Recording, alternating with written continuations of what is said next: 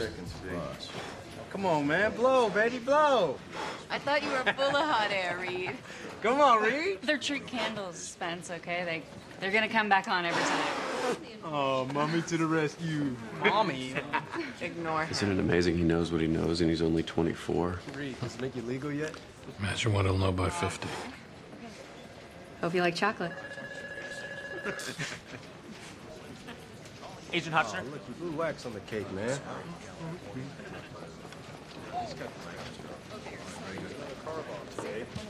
You having fun?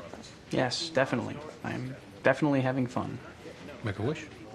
Can I take this hat off? I wouldn't. Most of them are Hey, civilians. Spence. First piece for the birthday boy. You know she's the only person in the whole world who calls me Spence? Spence, get over this cherry. Happy birthday. Thank you. Birthday boy. Did everyone get some? JJ, why don't you feed it to him? Sorry, guys. Party's over.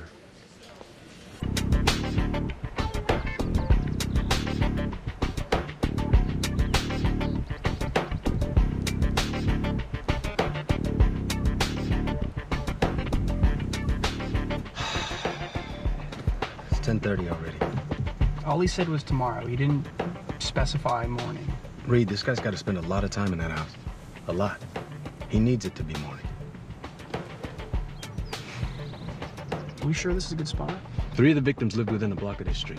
It's the main artery through the neighborhood. True, but three victims in the same block could mean he's done with the area Or that he's just really familiar with it. and comfortable in it. But then on the other hand, the other victims live more than a mile in either direction. God, I hate not having a plan. We're looking for a needle in a haystack here. Actually, it's more like we're looking for a needle in a pile of needles. What? A needle would stand out in a haystack. Okay. And we're not looking for someone who stands out. No, we're looking for a particular needle in a pile of needles.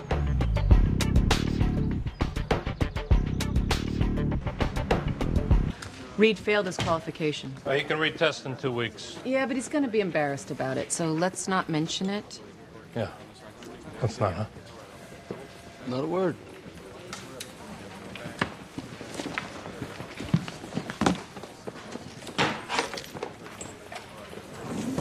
Hey. We're all here for you. I'm serious. If you ever need anything, just blowing it.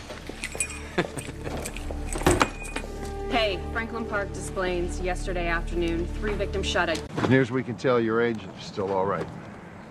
Has the subject asked for anything, made any demands? Not beyond wanting to talk to a higher authority. How do we negotiate with a psychotic who won't talk to us? That depends on the level of his particular delusion. Some psychotics believe they're being sent messages by the government, God, even aliens. Uh, John Nash, he believed he was being recruited by aliens to save the world. I saw the movie. Uh, actually, the movie's rather inaccurate in its Okay, portrayal Doug, of... Doug, Doug. A movie review's not gonna help us right now. Let's move. You're right, sorry.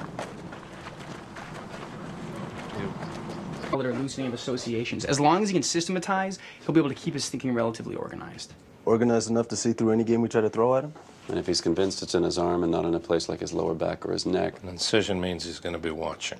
Maybe we can just convince him that he's been looking in the wrong place. Or we could fake it. Conceal a chip in the palm, a little, uh, sleight of hand. Oh, come on, Reid, what are you talking about? A magic trick? Yeah, I'm talking about a magic trick. No. I, I used to do it during college exams. I, I can make it appear, I can make it disappear. We can't risk giving him another agent as a hostage. We have to do something. All right, Reid. Let's go. Teach it to me. What? No.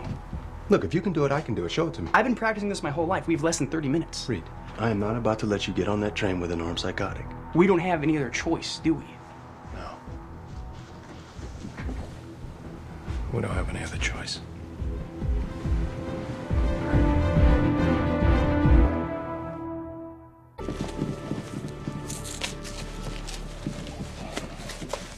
Reid, do not take this vest off.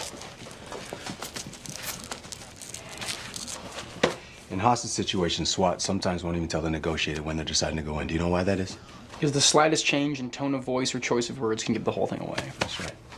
Don't make eye contact with Elle. You're a technician. You've never seen him before. Got it. And remember, play into the guy's fantasy. Believe it yourself.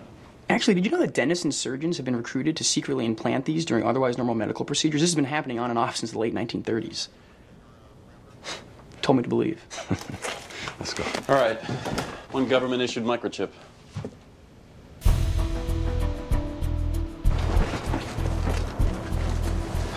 You gotta relax, man.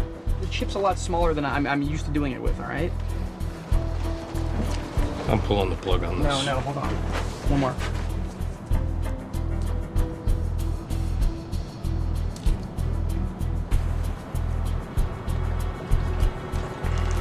Take his chip out there and get off the train, you understand? Tell him you need to get back to higher authorities. Say you have guidelines to follow, whatever. Do not stay in there with him. That's an order. Yes, sir. Could you guys do me a favor? Anything. Could at least one of you look like you're gonna see me again? See you when you get back.